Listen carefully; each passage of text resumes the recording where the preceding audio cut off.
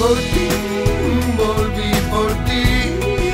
Bueno, Alejandro Sanz, bienvenido a tu casa, bienvenido Muchas otra vez a la número uno, un número uno en la número uno, otra vez. Muchas Pero, gracias.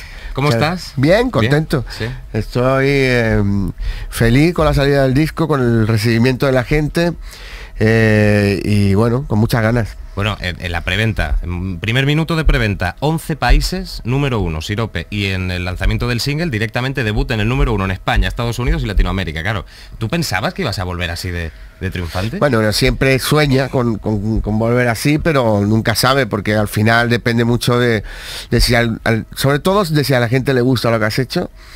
Eh, y también depende mucho pues, de otros lanzamientos, en fin. O sea, hay Sí, muchos, sí. muchos factores que influyen. Pero sobre todo lo más, lo más importante es que a la gente le guste lo que, lo que has hecho y si, y si es así, pues, pues ocurren cosas como esta. Yo sé que tú eres un tío muy detallista, que además te gusta controlar muchísimo tus producciones, tus trabajos, pero en especial este, ¿no? Me cuentan que has estado ocho meses solo grabando bajos, piano, guitarras y luego otros cuatro con Sebastián Cris produciendo. Sí. A, mí, eh, me gustaría saber, claro, cuando tú eres tan artista, tan compositor, que después alguien venga a toquetearte alguna cosita, en este caso el gran Sebastián Cris, ¿no? Pero que- Sí. ¿cómo te sienta a ti eso? O sea, tienes ese miedo de decir, ay, que me lo van a cambiar. Bueno, yo cuando me, me dijeron, mira, va Sebastián Cris a Madrid, a ver si eh, para, para charlar contigo, a ver si os entendéis para, para trabajar en el disco. Y yo la noche anterior, que llevaba, pues eso, llevaba ocho meses trabajando con las canciones solo. Y, empecé a decir, a pensar, digo, ahora va a venir este tío que no conozco de nada, a meterle mano a las canciones, yo no sé qué va a hacer.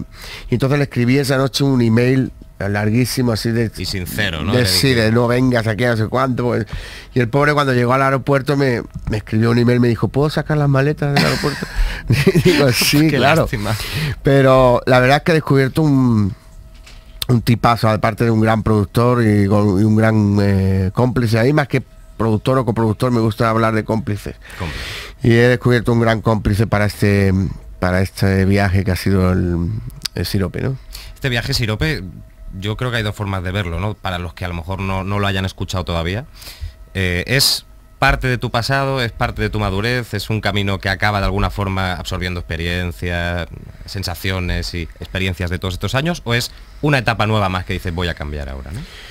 Bueno, eh, no, yo, creo que es una consecuencia de, de todo, es decir, del paso del tiempo y de, y de mi constante búsqueda en la música. O sea, todo el tiempo estoy intentando cambiar cosas y no dejo de ser consecuencia de todo lo que he hecho anteriormente. Entonces, obviamente lo que lo que existe en este disco eh, no podría ser sin, sin lo que ha pasado antes y no podría ser sin esa necesidad de que sea completamente diferente. Claro.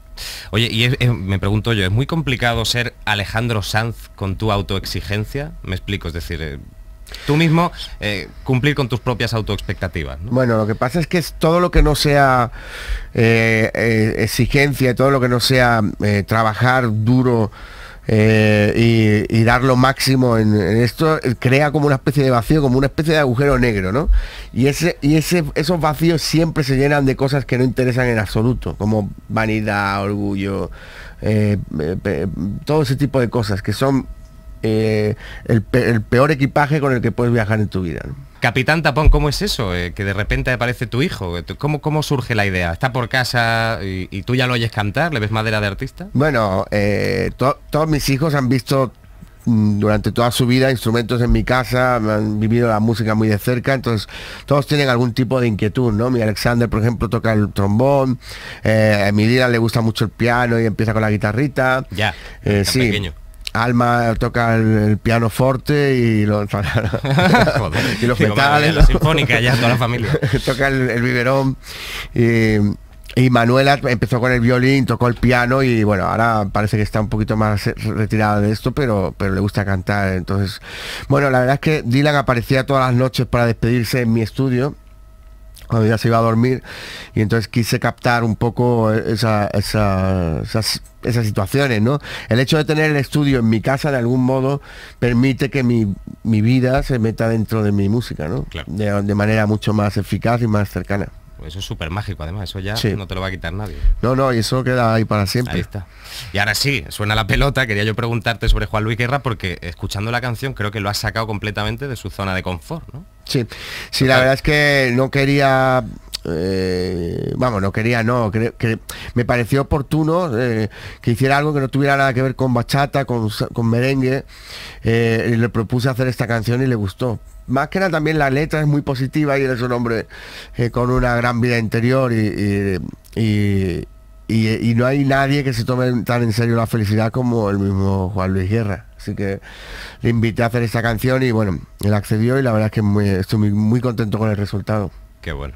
Me ha gustado eso, ¿eh? Nadie que se tome tan en serio la felicidad como Juan Luis. Sí, Guerra. es verdad, es un hombre que tiene una, una vida espiritual muy importante, es una de las personas que yo tengo envidia de su, de su él es un- es un hombre muy creyente, con una fe muy, muy poderosa, o sea, muy, muy arraigada en él, y a mí me da una envidia terrible porque prácticamente se le quitan todos los miedos. O sea, él no, no he visto un hombre que tenga menos miedos que Juan Luis Guerra y es, es una cosa que en el fondo me, me provoca bastante envidia.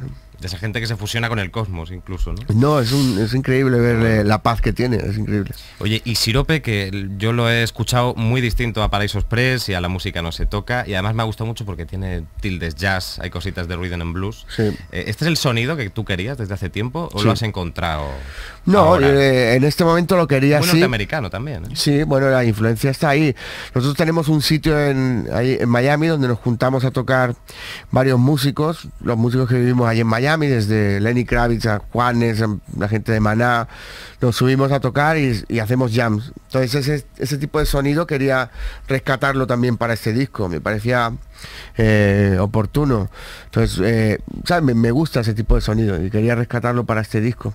Bueno, Ah. has dicho hay unos nombres que claro, tú lo dices y te quedas tan tranquilo, pero tener de vecino a Lenny, ¿qué pasa Lenny? ¿Cómo va eso? ¿Bien? ¿Has No, pues es un tipo mañana? muy, muy normal, le gusta mucho la música y sabía que había un, tío, un sitio donde nos juntamos a tocar Qué bueno. y se aparece por allí y to- y toca con nosotros. no hay ningún- Bueno, la última porque no te queremos molestar más y llevas un día de locura. Sabes que esta entrevista la están viendo también en Latinoamérica, evidentemente, a través de los 40 principales, a los que les mandamos un saludos. saludito. Y eres un cantante muy querido en todo el planeta, especialmente también en Latinoamérica. ¿no? Y nos escribe desde México, desde DF, María, que te pregunta cómo es de importante para ti la familia a la hora de encontrar tu estabilidad emocional.